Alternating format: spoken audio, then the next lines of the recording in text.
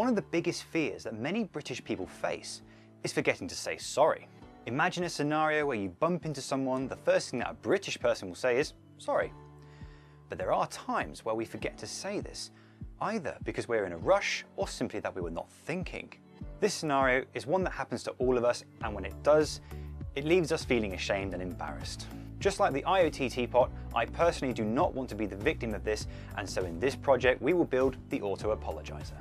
For this project you will need the ISD1820 voice recording module, or its equivalent, the i16-COB20, a MicroPython PyBoard with the onboard accelerometer, a 9 volt battery, a small speaker, materials for an enclosure, you could use cardboard, wood or a 3D printer, solid core wires, and a 10 microfarad capacitor. All the parts in this project are available from DigiKey and a link for the bill of materials can be found in the description below. The idea behind this project is very trivial. The PyBoard has an inbuilt accelerometer which allows us to detect sudden changes in velocity. If our Python code detects a rather substantial acceleration, for example bumped into someone, then it will trigger the ISD1820 to play a pre-recorded message saying, oh, I'm sorry. Luckily for us, the ISD1820 board has all the circuitry needed to drive an 8 ohm speaker connected to it, so we don't need to create a speaker driver, and the PyBoard contains the accelerometer with easy to use libraries, so we don't have to mess around with complex registers over I2C. So let's build the Auto Apologizer. So here is the schema schematic for the Auto Apologizer. We have a capacitor here to make sure that the voltage coming from the battery, or at least its power source, is smoothed out. Because even though batteries are already smooth, we could actually connect this thing to something like uh, a wall wart, for example. And so that capacitor could be quite useful. The PyBoard is directly connected to the 9 volt battery because it has an internal regulator. And this input voltage gets regulated to 3.3 volts, which is also available on several pins. And we use those pins to power the ISD1820. So when a vibration is detected, it outputs a signal on X1. This causes the ISD1820 to play the apology, and we hear it on the speaker.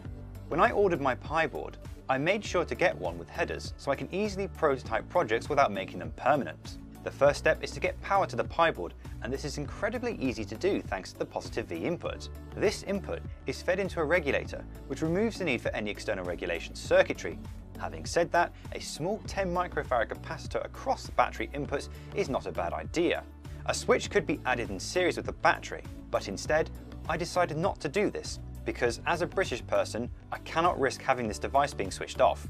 The next task involves connecting the ISD1820 module to the PyBoard, which only requires three wires, one for providing power, one for providing ground, and one wire for sending the pulse that will trigger the ISD1820 board that will make our apology. The pin that I have used is X1, and that can be found on this pad. Now that we have the two boards connected together, we need to connect a speaker to the ISD1820. The ISD1820 board uses a Molex connector for the speaker, but none of my speakers have those connections. So I soldered the speaker to the pads on the bottom. MicroPython-based microcontrollers can be connected to a USB port and Python commands can be sent and executed using a serial terminal program such as PuTTY or RealTerm. However, this only allows for single commands, which is not helpful when we want the system to run some predefined code.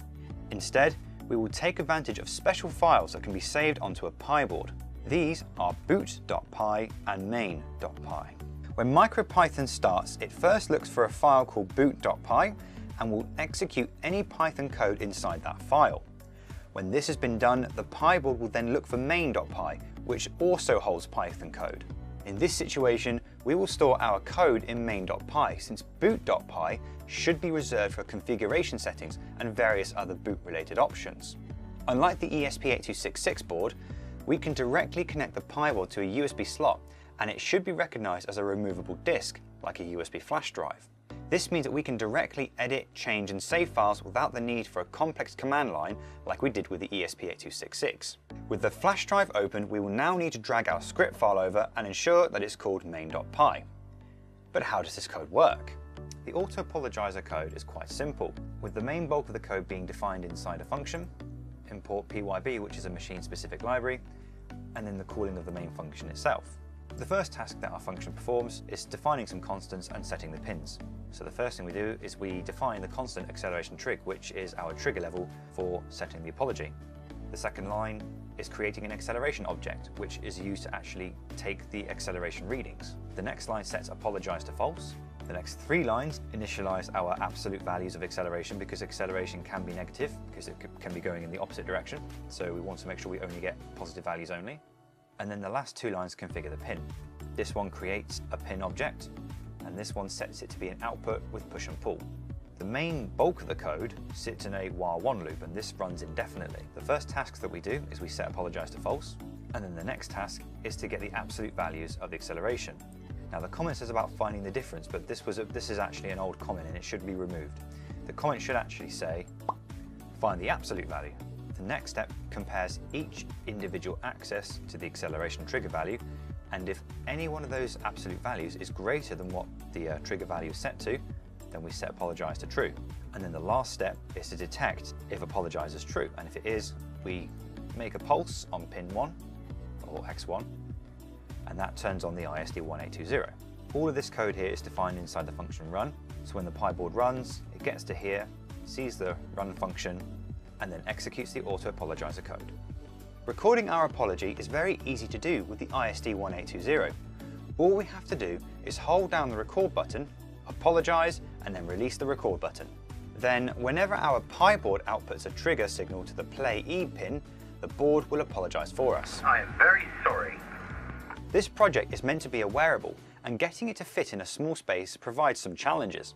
An enclosure needs to be used that can house all the parts, and this could be made from wood, cardboard, or a custom 3D printed model. While cardboard and wood serve as good prototyping methods, I opted for a 3D printer model using the XYZ DaVinci Junior.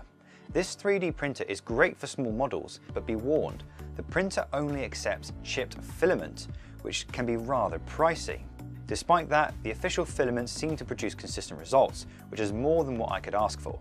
With the model printed, it's time to place all the different parts into the enclosure, connect up the battery and test the system out. So we've now got the project into the box, we've wired up the speaker, we've got our PP3 connector on the end, and all we have to do now is connect the two together, and our system should now be working. So let's go and test it. Sorry. Oh, sorry.